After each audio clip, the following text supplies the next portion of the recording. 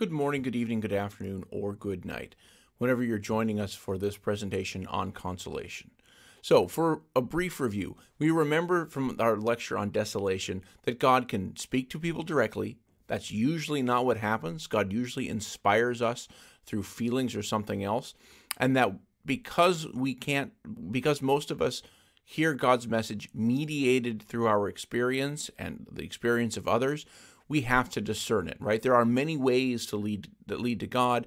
We have to learn and to to understand which what what, what God is actually trying to do to us. And so, what it, let's just start generally. What is consolation? Consolation is fundamentally that interior movement by which your soul is you understand God's love for you and are drawn by God to God's self.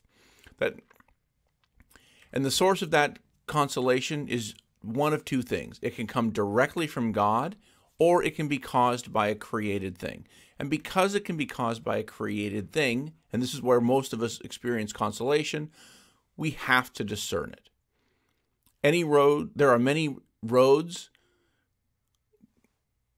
but we have to figure out which one of those roads leads to God.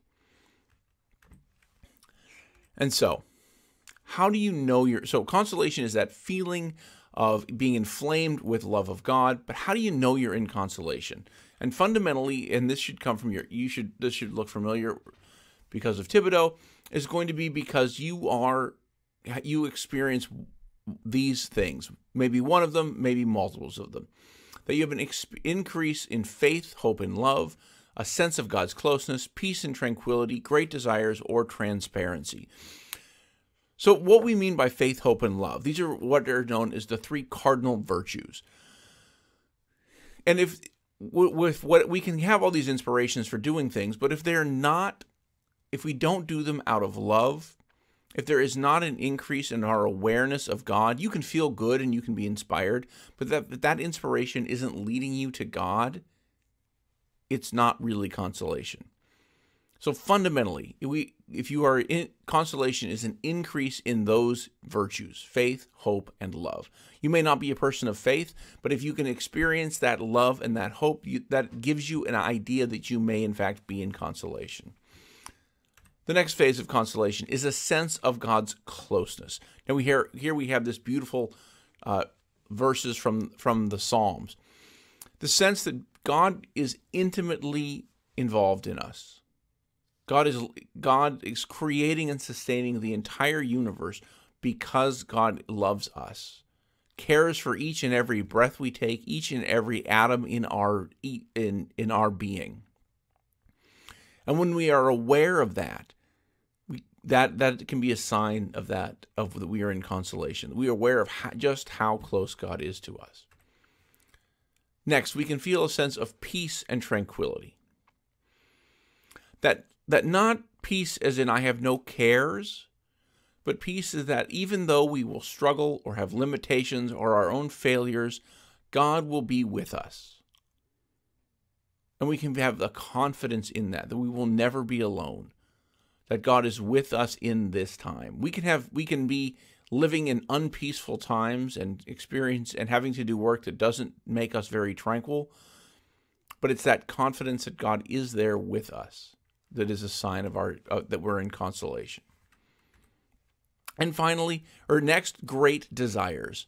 Ignatius changes this up a little bit, where as prior to him, people saw the, the desire as a sign of our baseness, our our humanity.